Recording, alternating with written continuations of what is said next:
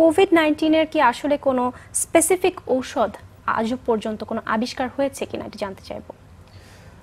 দেখো প্রায় সত্তরটি প্রতিষ্ঠান এই বিষয়ে প্রচেষ্টা চালিয়ে যাচ্ছে আবিষ্কার করবার জন্য। EIDD two eight zero one এটি হলো ওষুধ যেটা আবিষ্কার আবিষ্কারের পথে কিন্তু বাজারে এখনও আসেনি। তবে যে ওষুধগুলো ব্যবহার করার কথা বলা হচ্ছে, যেহেতু এই রোগটি একটা ভয়াবহতা সৃষ্টি করেছে এবং এই রোগের যেহেতু কোনো ঔষধ নেই, সেই জন্য অন্য রোগের চিকিৎসায় যে ওষুধগুলো ব্যবহার করা হতো, সেই ওষুধগুলো এখন অফ লেভেল ড্রাগ হিসেবে এখন কিছু কিছু ট্রায়াল দেওয়া হচ্ছে। যেমন ধরো রেমডেসিভির এটা ইবোলা রোগের ঔষধ আসলে ফ্যাভিপিরাভির এটা জাপান ফ্লুতে ব্যবহার করা হয়েছিল। এবং এছাড়া লোপিনাভির এটাও এইচআইভি বা এইডসের ওষুধ। ক্লোরোকুইন হাইড্রক্সিক্লোরোকুইন এগুলো এসএলই বা ম্যালেরিয়ার ওষুধ।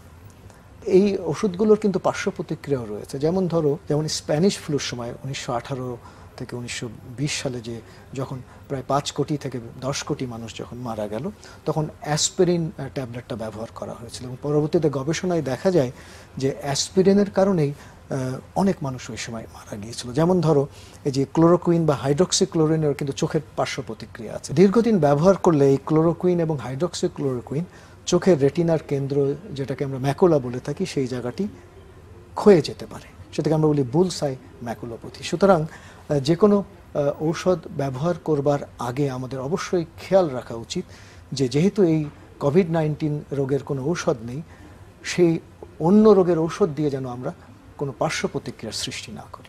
এই রোগের কোনো ভ্যাকসিন বা টিকা আবিষ্কার হয়েছে কিনা? না এখনও পর্যন্ত এই রোগের কোনো ভ্যাকসিন বা টিকা আবিষ্কার হয়নি। তবে একশোরও বেশি প্রতিষ্ঠান আপ্রাণ চেষ্টা করে যাচ্ছে নতুন একটা ভ্যাকসিন আনার জন্যে। সেটা বারো থেকে আঠারো মাস সময় লাগতে পারে। আসলে একটা ভ্যাকসিন যখন বের হয়, সেটা কতগুলো ট্রায়ালের মাধ্যমে? প্রথমে যে ট্রায়ালটি হয়েছিল প্রি ক্লিনিক্যাল ট্রায়াল, সেটা অ্যানিমাল মডেলে সেই ট্রায়ালটি করা হয় এবং সেখানে দেখা হয় ওই ভ্যাকসিনটি কোনো পার্শ্ব প্রতিক্রিয়া করছে কিনা। এরপরে ক্লিনিক্যাল ট্রায়াল শুরু হয়। সেটা কতগুলো ফেজের মধ্যে? ফেজ ওয়ানে স্বল্প সংখ্যক মানুষের উপরে সেই ভ্যাকসিনটি প্রয়োগ করে দেখা হয় তার ক্রিয়া এবং তার পার্শ্ব প্রতিক্রিয়া। এবং ফেজ টুতে যে ট্রায়ালটি করা হয়, সেখানে আরও বেশি সংখ্যক মানুষের উপরে ট্রায়াল দেওয়া হয়। এবং লাস্ট যে ট্রায়াল ফেজ থ্রি সেটাকে, সেখানে কি করা হয়? র্যান্ডোমাইজড কন্ট্রোল ট্রায়াল করা হয়।